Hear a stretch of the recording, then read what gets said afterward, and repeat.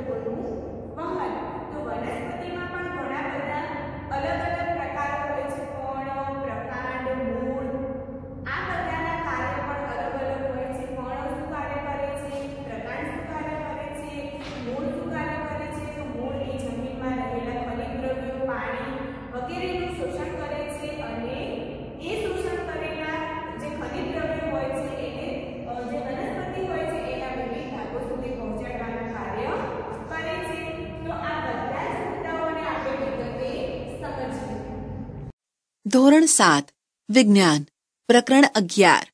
પ્રાણીઓ અને વનસ્પતિઓમાં વહન transportation in animals and plants તમે અગાઉ શીખ્યા છો કે બધા સજીવોને પોતાનું અસ્તિત્વ ટકાવી રાખવા માટે ખોરાક, પાણી અને ઓક્સિજનની જરૂર હોય છે. સજીવોને આ બધું શરીરના એક ભાગથી બીજા ભાગમાં પહોંચાડવું જરૂરી છે. ઉપરાંત પ્રાણીઓને ઉત્સર્ગ પદાર્થો શરીરના જે ભાગમાંથી નિકાલ કરી શકાય ત્યાં પહોંચાડવા જ રહ્યા. તમને આશ્ચર્ય નથી થતું કે આ બધું કેવી રીતે થાય છે? શું તમે હૃદય અને રુધિર વાહિનીઓ જોઈ શકો છો? તેઓ આ બધા જ પદાર્થોના વહનનું કાર્ય કરે છે અને સાથે મળીને પરિવહન તંત્ર રચે છે. આ પ્રકરણમાં તમે વનસ્પતિ અને પ્રાણીઓમાં વહનનો અભ્યાસ કરશો. પરિવહન તંત્ર પરિવહન તંત્ર સર્ક્યુલેટરી સિસ્ટમ રુધિર બ્લડ જ્યારે તમારા શરીર પર ઘા પડે છે, ત્યારે શું થાય છે? રુધિર બહાર આવે છે. પરંતુ રુધિર શું છે? રુધિર એ પ્રવાહી છે, જે રુધિર વાહિનીઓમાં વહે છે. તે પાચિત ખોરાકના ઘટકોનું નાના આંતરડાથી શરીરના વિવિધ ભાગો તરફ વહન કરે છે. તે ફેફસામાંથી ઓક્સિજનને શરીરના કોષો સુધી લઈ જાય છે. તે શરીરના ઉત્સર્ગ દ્રવ્યોનો શરીરમાંથી નિકાલ પણ કરે છે. રુધિર બધા પદાર્થોનું વહન કેવી રીતે કરે છે? રુધિર એક પ્રવાહી છે, જેમાં વિવિધ પ્રકારના કોષો સમાવિષ્ટ છે. રુધિરનો પ્રવાહી ભાગ એ રુધિર રસ, એટલે કે પ્લાઝમા કહેવાય છે. રક્તકણ, આરબીસી એ એક પ્રકારના કોષો છે, જે લાલ રંજક કણ, હિમોગ્લોબિન ધરાવે છે.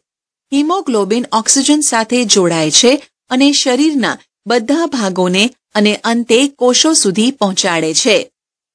હિમોગ્લોબિન વિના શરીરના બધા ભાગોને સક્ષમ રીતે ઓક્સિજન પહોંચાડવો એ ખૂબ જ અઘરું છે. હિમોગ્લોબિનની હાજરીને લીધે રુધિરનો રંગ લાલ હોય છે. રુધિરમાં શ્વેત કણો એટલે કે ડબલ્યુબીસી પણ આવેલ છે, જે શરીરમાં પ્રવેશતા જીવાણુઓ સામે લડે છે. બુજો રમત રમતા નીચે પડી જાય છે અને ઘૂંટણમાં ઈજા પહોંચે છે. કપાયેલ ભાગમાંથી રુધિર બહાર આવે છે. થોડા સમય પછી તેણે જોયું કે રુધિર વહેતું અટકે છે અને ગંઠાઈ જાય છે. બુજોને આનાથી આશ્ચર્ય થાય છે. રુધિર ગંઠાવાની પ્રક્રિયા એ રુધિરમાં રહેલા બીજા પ્રકારના કોષો દ્વારા થાય છે, જેને ત્રાક ગણો એટલે કે પ્લેટલેટ્સ કહેવાય છે. રુધિર વાહિનીઓ બ્લડ વેસલ્સ. શરીરમાં જુદા જુદા પ્રકારની રુધિર વાહિનીઓ જોવા મળે છે. તમે જાણો છો કે શ્વાસ દરમિયાન શુદ્ધ ઓક્સિજનનો જથ્થો ફેફસામાં ભરાય છે. ઓક્સિજનનું વહન શરીરના બાકીના ભાગો સુધી થવું જરૂરી છે. રુધિર કોષોમાંથી કાર્બન ડાયોક્સાઇડ સહિતના ઉત્સર્ગ દ્રવ્યો એકત્રિત કરે છે. પ્રકરણ દસમાં શીખ્યા તે મુજબ રુધિરને હૃદય તરફ પરત વહેવું અનિવાર્ય છે, જેથી કરીને તેમાંથી કાર્બન ડાયોક્સાઇડ ફેફસામાંથી દૂર કરી શકાય. તેથી બે પ્રકારની રુધિર વાહિનીઓ, ધમની અને શીરા, શરીરમાં આવેલી હોય છે. ધમની હૃદયમાંથી ઓક્સિજનયુક્ત રુધિર શરીરના વિવિધ ભાગો તરફ લઈ જાય છે. રુધિરનો પ્રવાહ ઝડપી અને વધુ દબાણે હોવાથી ધમનીની દિવાલ જાડી અને સ્થિતિસ્થાપક હોય છે. ચાલો, આપણે ધમની દ્વારા રુધિરના પ્રવાહનો અભ્યાસ કરવા એક પ્રવૃત્તિ કરીએ. પ્રવૃત્તિ અગિયાર પોઈન્ટ એક. તમારા જમણા હાથની તર્જની અને મધ્યિકા પ્રથમ બે આંગળીઓને ડાબા કાંડાની અંદરની બાજુએ મૂકો. શું તમને થડકારા જેવો હલનચલનનો અનુભવ થાય છે? આની પાછળનું કારણ શું હોઈ શકે? આવા હલનચલનને નાડી ધબકાર એટલે કે પલ્સ કહેવાય છે, જે ધમનીમાં રુધિર વહેવાના કારણે થાય છે. એક મિનિટમાં થતા નાડી ધબકારની ગણતરી કરો. તમે કેટલા નાડી ધબકાર ગણી શકો છો? એક મિનિટમાં થતા થડકારને નાડી દર એટલે કે પલ્સ રેટ કહેવાય છે. આરામદાયી સ્થિતિમાં મનુષ્યમાં નાડી દર આશરે બોતેર એંશી જેટલો હોય છે. તમારા શરીરના બીજા ભાગો એવા શોધો જ્યાં તમે નાડી ધબકાર અનુભવી શકો. તમારા પોતાના અને તમારા સહપાઠીઓના નાડી ધબકાર નોંધો. તમે મેળવેલ અંકોની તુલના કરો અને કોષ્ટક અગિયાર પોઈન્ટ એકમાં નોંધો. શિરા એ એવી રુધિર વાહિનીઓ છે જે કાર્બન ડાયોક્સાઇડ યુક્ત રુધિરને શરીરના જુદા ભાગોમાંથી હૃદય તરફ લઈ જાય છે. શિરાની દિવાલ પાતળી હોય છે. શિરામાં વાલ્વ આવેલો હોય છે જે રુધિરને માત્ર હૃદય તરફની દિશામાં જ જવા દે છે. આકૃતિ અગિયાર પોઈન્ટ ત્રણ જુઓ. શું તમે ધમનીઓને નાની નાની વાહિકીઓમાં વિભાજિત થયેલ જોઈ શકો છો? તેઓ આગળ પેશીઓ પાસે જતા વધુ પાતળી નળીમાં વિભાજિત થાય છે, જેને કેશિકાઓ એટલે કે કેપિલરીઝ કહેવાય છે. આ કેશિકાઓ ફરીથી જોડાણ પામી શિરાઓ બનાવે છે, જે રુધિરને હૃદયમાં ઠાલવે છે. પહેલીને આશ્ચર્ય થાય છે કે હૃદયના કયા ભાગમાં ઓક્સિજન યુક્ત અને કયા ભાગમાં કાર્બન ડાયોક્સાઇડ યુક્ત રુધિર જોવા મળે છે? હૃદય, હાર્ટ. હૃદય એ સતત ધબકતું અને પંપ તરીકે કાર્ય કરતું અંગ છે, કે જે રુધિર અને તેમાં રહેલા દ્રવ્યોનું વહન કરે છે. વિચારો, એક પંપ જે વર્ષો સુધી અટક્યા વિના કાર્ય કરે છે. તદ્દન અશક્ય. છતાં પણ આપણું હૃદય અટક્યા વિના પંપ તરીકે કાર્ય કરે છે. ચાલો, હવે આપણે હૃદય વિશે અભ્યાસ કરીએ. હૃદય એ ઉરસ ગુહામાં આવેલું નીચેની બાજુએથી થોડું ડાબી બાજુએ નમેલું હોય છે. આંગળીઓ અંદરની તરફ વાળીને મુઠ્ઠી વાળો. તમારું હૃદય સામાન્યપણે હાથની મુઠ્ઠી જેટલું કદ ધરાવે છે. જો ઓક્સિજન યુક્ત અને કાર્બન ડાયોક્સાઇડ યુક્ત રુધિર ભેગું થાય, તો શું થાય? આવું થતું રોકવા માટે હૃદય ચાર ખંડ ધરાવે છે. ઉપરના બે ખંડ કર્ણકો અને નીચેના બે ખંડ ક્ષેપકો તરીકે ઓળખાય છે. આ બંને વચ્ચે આવેલ પડદાને કારણે ઓક્સિજનયુક્ત અને કાર્બન ડાયોક્સાઇડ યુક્ત રુધિર ભેગું થતું નથી. પરિવહન તંત્રના કાર્યને સમજવા માટે હૃદયની જમણી બાજુએથી શરૂઆત કરો અને આપેલ તીરની દિશાને અનુસરો. આ તીર હૃદયથી ફેફસા તરફ અને હૃદયથી શરીરના તમામ ભાગો તરફ રુધિરનું વહન દર્શાવે છે. હૃદયના ધબકારા હાર્ટબીટ હૃદયના ખંડોની દિવાલ એ સ્નાયુઓની બનેલી છે. આ સ્નાયુઓનું લય અનુસાર સંકોચન અને વિકોચન એટલે કે શિથિલન જોવા મળે છે. તાલબદ્ધનું સંકોચન તેના વિકોચનને અનુસરીને એક ધબકારો સૂચવે છે. યાદ રાખો, આપણા જીવન દરમિયાન ધબકારા સતત ચાલુ રહે છે. જો તમે તમારો હાથ છાતી પર ડાબી બાજુએ રાખશો તો તમને ધબકારાનો અનુભવ થશે. ડોક્ટર, સ્ટેથોસ્કોપ નામના સાધનની મદદથી તમારા ધબકારા અનુભવે છે. હૃદયના ધબકારાના અવાજને મોટો કરવા માટે ડોક્ટર સાધન તરીકે સ્ટેથોસ્કોપનો ઉપયોગ કરે છે. તે એક ચેસ્ટ પીસ, જે સંવેદનશીલ એટલે કે કંપનશીલ પડદો, બે ઇયર પીસ અને એક નળી ધરાવે છે, જે જોડાણ તરીકેનું કાર્ય કરે છે. ડોક્ટર સ્ટેથોસ્કોપ દ્વારા હૃદયના ધબકારા સાંભળી હૃદયની પરિસ્થિતિ વિશેનો તાગ મેળવે છે.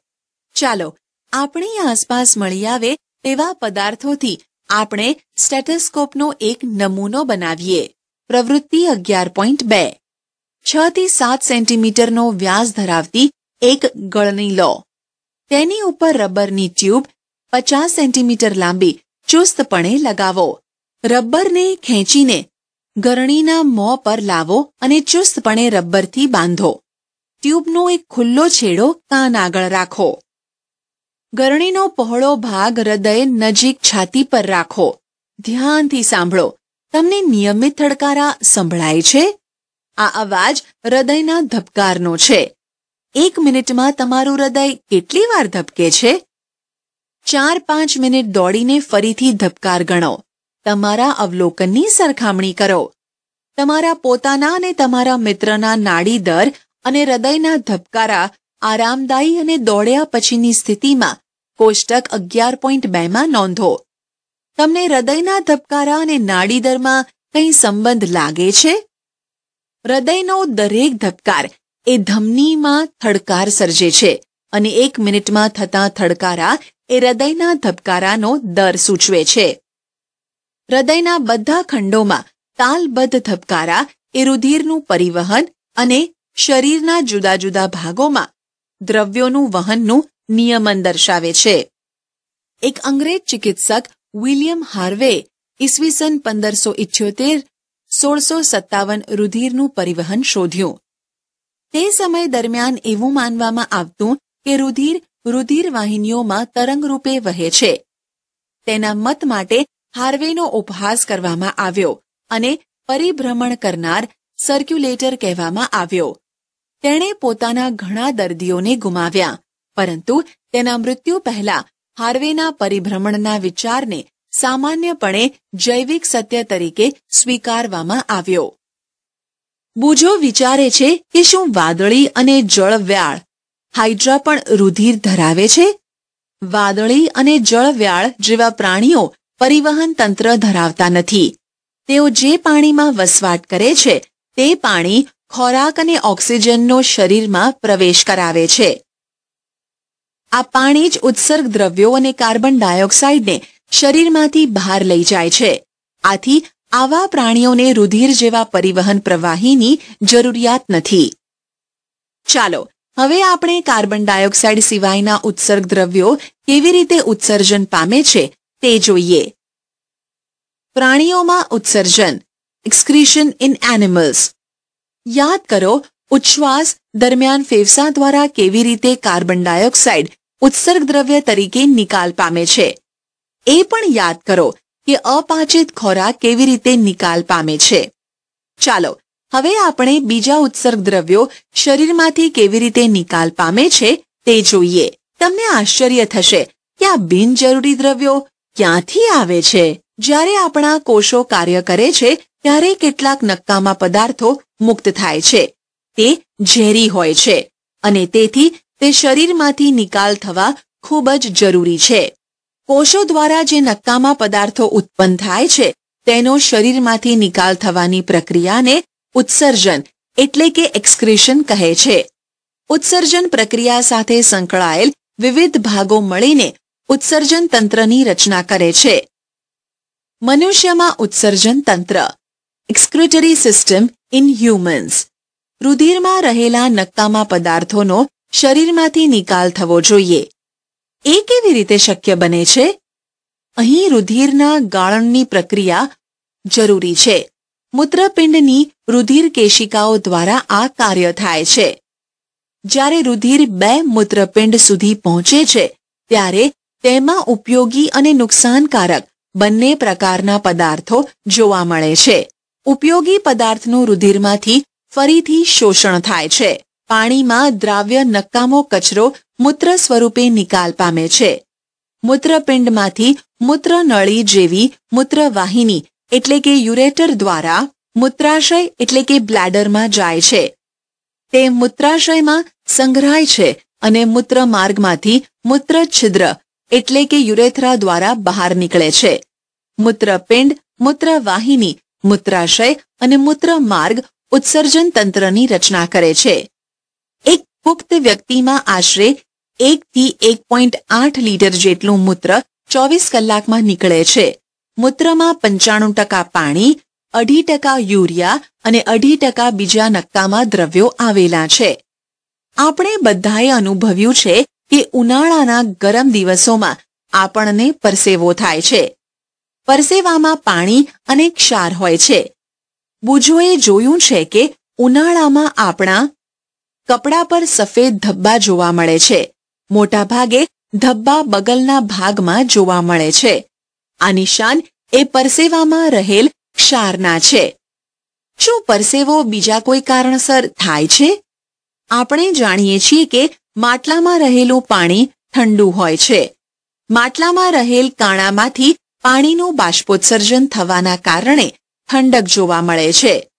આવી જ રીતે જ્યારે આપણને પરસેવો થાય છે, ત્યારે તે આપણા શરીરને ઠંડુ કરવામાં મદદરૂપ થાય છે. પહેલીને જાણવું છે કે બધા પ્રાણીઓ પણ મૂત્રોત્સર્જન કરે છે? પ્રાણીઓમાં નક્કામાં રસાયણો શરીરમાંથી નીકળવાની પ્રક્રિયા પાણીની માત્રા પર અવલંબે છે. જળચળ પ્રાણીઓ જેવા કે માછલીઓ કોષોનો કચરો, એમોનિયા સ્વરૂપે ઉત્સર્જે છે, જે સીધો જ પાણીમાં ઓગળી જાય છે. કેટલાક ભૂચર એટલે કે જમીન નિવાસી પ્રાણીઓ જેવા કે પક્ષીઓ, ગરોળીઓ કે સાપ અર્ધઘન સફેદ રંગનો પદાર્થ એટલે કે યુરિક એસિડ ઉત્સર્જે છે. મનુષ્યમાં મહદઅંશે ઉત્સર્ગ દ્રવ્ય તરીકે યુરિયા જોવા મળે છે. વનસ્પતિમાં ઘટકોનું વહન transport of substances in plants તમે પ્રકરણ એકમાં શીખી ગયા કે વનસ્પતિ જમીનમાંથી પાણી અને ખનિજ તત્વોનું શોષણ કરે છે અને પર્ણો સુધી પહોંચાડે છે. પ્રકાશ સંશ્લેષણ દ્વારા પર્ણો કાર્બન ડાયોક્સાઇડ અને પાણીનો ઉપયોગ કરી ખોરાક બનાવે છે. પ્રકરણ દસમાં તમે શીખી ગયા કે ખોરાક એ ઉર્જાનો સ્ત્રોત છે. અને દરેક કોષ ગ્લુકોઝના તૂટવાથી ઊર્જા પ્રાપ્ત કરે છે. કોષો આ ઉર્જાનો ઉપયોગ જૈવિક ક્રિયાઓ માટે કરે છે. આથી સજીવના દરેક કોષ પાસે ખોરાકનો જથ્થો પ્રાપ્ય હોવો જોઈએ. તમે ક્યારે એવું વિચાર્યું છે કે પાણી અને ખનિજ તત્વો જમીનમાંથી મૂળ દ્વારા શોષાય, પર્ણો સુધી કેવી રીતે પહોંચે છે? પર્ણો દ્વારા બનાવાયેલ ખોરાક એ વનસ્પતિના જુદા જુદા ભાગો સુધી કેવી રીતે પહોંચે છે? પાણી અને ખનિજ તત્વોનું વહન. Transport of water and minerals. વનસ્પતિ મૂળ દ્વારા પાણી અને ખનિજ ક્ષારનું વહન કરે છે. મૂળ મૂળ રોમ ધરાવે છે. મૂળ રોમ એ પાણી અને પાણીમાં દ્રાવ્ય ખનિજ ક્ષારોના શોષણ માટે મૂળની સપાટીમાં વધારો કરે છે. જમીનમાં કણો વચ્ચે રહેલું પાણી એ મૂળ રોમના સંપર્કમાં હોય છે. શું તમે અનુમાન બાંધી શકો છો કે મૂળ દ્વારા પાણી પર્ણો સુધી કેવી રીતે પહોંચે છે? વનસ્પતિમાં કેવા પ્રકારનું પરિવહન તંત્ર આવેલું છે? બુજો સાચો છે. વનસ્પતિ પાણી અને ખનિજ ક્ષારોના વહન માટે પાઇપ જેવી વાહિની ધરાવે છે. આ વાહિનીઓ ચોક્કસ પ્રકારના કોષોની બનેલી હોય છે. જેને વાહક પેશી કહે છે. સજીવોમાં કોષોના સમૂહ ચોક્કસ પ્રકારના કાર્ય કરવા માટે એકઠા થાય છે, જેને પેશી કહે છે. પાણી અને ખનિજ ક્ષારોના વહન માટેની વાહક પેશીને જલવાહક પેશી કહે છે. જલવાહક પેશી સળંગ નળીઓનું જાળું એટલે કે નેટવર્ક બનાવે છે, જે મૂળથી પ્રકાંડ અને ડાળીઓને સાંકળે છે. આથી પાણીનું વહન સમગ્ર વનસ્પતિના ભાગોમાં જોવા મળે છે. તમે જાણો છો કે પર્ણ ખોરાક બનાવે છે. ખોરાકનું વહન વનસ્પતિના બધા ભાગોમાં થવું જોઈએ. આ પ્રક્રિયા વાહક પેશી અન્નવાહક પેશી દ્વારા થાય છે. આમ જલવાહક અને અન્નવાહક પેશી દ્વારા વનસ્પતિમાં ઘટકોનું વહન થાય છે. પહેલી તેની માતાને થોડા ઘણા સૂકા ભીંડા અને બીજા શાકભાજીને પાણીમાં મૂકતા જુએ છે. તેણીને જાણવું છે કે પાણી તેમાં કેવી રીતે પ્રવેશે છે. પ્રવૃત્તિ અગિયાર પોઈન્ટ ત્રણ. એક મોટું બટાકું લો અને તેની બહારની છાલ ઉતારો. તેની એક બાજુનો ભાગ પાયો બનાવવા સપાટ કાપો. હવે તેની વિરુદ્ધ બાજુએ ઊંડી અને પોલાણવાળી ગુહા રચો અડધા સુધીનું પોલાણ ખાંડના દ્રાવણથી ભરો. અને નિશાની રૂપે બટાકાની દિવાલ પર ટાંકણી એટલે કે પિન લગાવો. આ બટાકાને થોડી માત્રામાં પાણીથી ભરેલ ડીશમાં મૂકો. એટલી ખાતરી રાખો કે આ પાણીની સપાટી પિનની સપાટીથી નીચે હોય. થોડા કલાક સુધી ઉપકરણને એમ જ રાખો. તમને ખાંડના દ્રાવણની સપાટી ઊંચી જતી લાગશે. બટાકામાંથી પાણી કેવી રીતે અંદર જતું હશે? થોડા અંતર સુધી પાણી એક કોષથી બીજા કોષ તરફ ગતિ કરી શકે છે. આ જ રીતે પાણી જમીનમાંથી મૂળની જલવાહિની સુધી પહોંચે છે. બાષ્પોત્સર્જન, ટ્રાન્સપિરેશન. તમે ધોરણ છ માં શીખ્યા છો કે વનસ્પતિ બાષ્પોત્સર્જનની ક્રિયા દ્વારા પુષ્કળ પ્રમાણમાં પાણી મુક્ત કરે છે. વનસ્પતિ જમીનમાંથી પાણી અને ખનિજ ક્ષારોનું શોષણ કરે છે. શોષાયેલું બધું પાણી વનસ્પતિ દ્વારા વપરાતું નથી. બાષ્પોત્સર્જનની ક્રિયા દ્વારા પર્ણમાં આવેલ પર્ણરંધ્ર દ્વારા પાણી બાષ્પ સ્વરૂપે બહાર નીકળે છે. પર્ણ દ્વારા પાણીનું બાષ્પીભવન એ ચૂષક પુલ, બકનળી, જેમ તમે સ્ટ્રો દ્વારા પાણી ચૂસો છો તે રીતે રચે છે, જે પાણીને ખૂબ જ ઊંચાઈ સુધી ઊંચા વૃક્ષોમાં પહોંચાડે છે. બાષ્પોત્સર્જનથી વનસ્પતિ ઠંડક પણ પ્રાપ્ત કરે છે.